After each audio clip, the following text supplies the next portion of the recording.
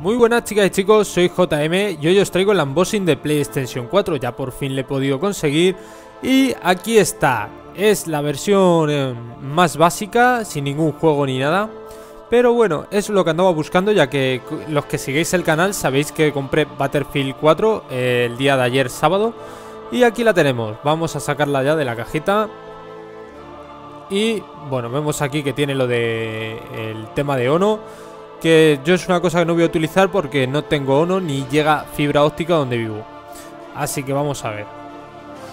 Abrimos la consola, la pestañita, la tumbamos y que se vea bien en cámara. Ahí la tenemos.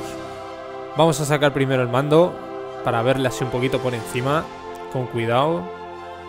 Y he puesto en el fondo para que veáis un poquito la historia de PlayStation así desde el día que salió PlayStation 1 hasta la PlayStation 4. Aquí el mando podemos ver la luz. Eh, no está conectando con la Play porque está dentro de la caja, evidentemente. Pero aquí lo tenemos. No me gusta mucho este tacto, estoy probándolo. Los gatillos están bien y los botones también. Pero los stick mm, me dejan un poquillo ahí diciendo como que es un poquillo así. Y la parte esta que es como un sensor de para los dedos, realmente es como un botón. Bueno, los libros de instrucciones estos que no, vamos a, abrir ni mirar. Y veamos a ver aquí que tenemos todo el, todo el tema de los cables. Eh, cable de luz con una conexión muy básica. Es la conexión de más básica que hay de PlayStation, yo creo un HDMI normalito, un cable USB que es diferente eh, la conexión al mando y el tema de los cascos para hablar con por el, el tema del mando de es que no sé si el micro está en los cascos o está en el mando, no lo sé. Bueno, vamos allá. Ya hemos sacado la play, vamos a ver qué hay aquí. Eh, nada, nada y bueno, pues nada de interés, no hay nada así que merezca la pena. Tiramos todo aquí. Y vamos a sacar el, lo que es la, lo que estamos esperando, la bestia. Vamos a ver, quitamos esto de aquí en medio. Lo dejamos aquí. Y tengo que decir que, bueno, no me ha costado... Me ha costado un poquito realmente conseguirla.